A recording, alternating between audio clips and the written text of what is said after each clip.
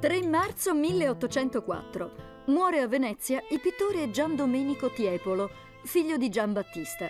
Nato nel 1727, a 13 anni entra nella bottega del padre e a soli 19 anni gli viene affidato l'incarico di dipingere le stazioni della Via Crucis nella chiesa di San Polo.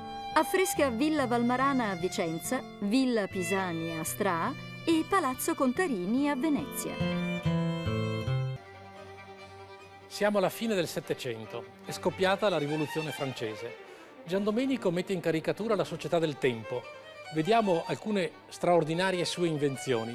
Il cavaliere servente, vale a dire una coppia di nanerottoli, di personaggi ridicoli che di giorno, fra l'altro, vogliono la candela, oppure l'altalena, un'allegria scomposta, gente che alza le braccia, tirano fuori la lingua, sia l'uomo che la donna. Gian Domenico è spietato, non lascia che questa società passi così impunemente sulla scena. Siamo nel 1797, è la data della fine della Repubblica di Venezia. Dopo mille anni Venezia è conquistata dai francesi.